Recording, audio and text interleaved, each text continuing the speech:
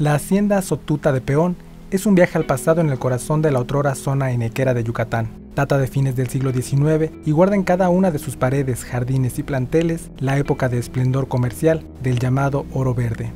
El monumento histórico con una extensión de 500 hectáreas, de las cuales en 200 se planta el enequén, es una hacienda viva, un museo impresionante en el que muestran el proceso para trabajar la fibra del enequén. Existe un recorrido con una duración de tres horas y se divide en dos partes. La primera tiene que ver con la historia de la hacienda e inicia en la casa museo, donde su arquitectura y decoración expresan la elegancia y tradición asociadas con la exitosa era del oro verde.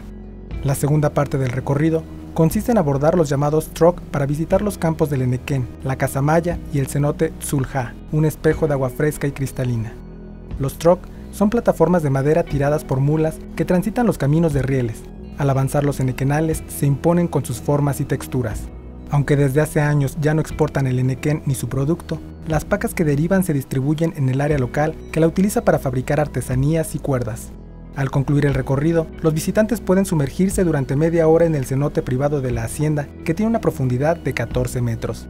Con información e imágenes de Claudia Pacheco enviada, Notimex.